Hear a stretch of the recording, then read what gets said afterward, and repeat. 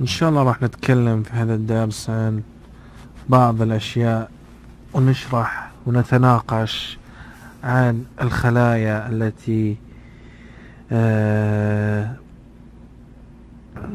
تنحرم من السكر والتغذية بسبب مرض السكر. بما أن الخلايا قد حرمت من التغذية أو أصيبت بالمجاعة فإنها تبحث عن مصادر أخرى للغذاء. وليس أمامها سوى الدهنيات الموجودة داخل الخلية. فتقوم باستعمالها ليشعر الطفل بالإرهاق الشديد والتعب كما يفقد قدرا كبيرا من الوزن. وقد يشعر أيضا بالصداع والدوار ومن ثم القيء. إذ تفرز الخلية بعد استخدامها للدهنيات وتستهلك الدهنيات.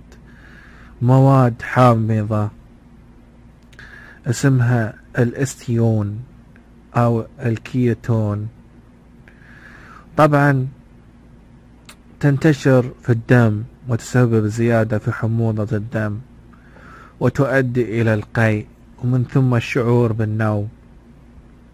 المؤدي إلى الغيبوبة إن لم يعالج في الحال.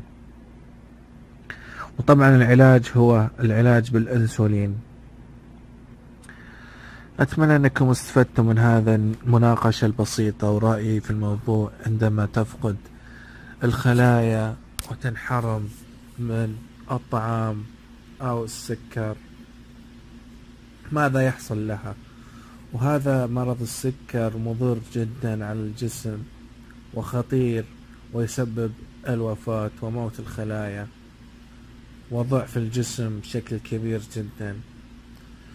كان معكم الباحث خالد بن سعود الحليبي وإن شاء الله نشوفكم في درس قادم إن شاء الله.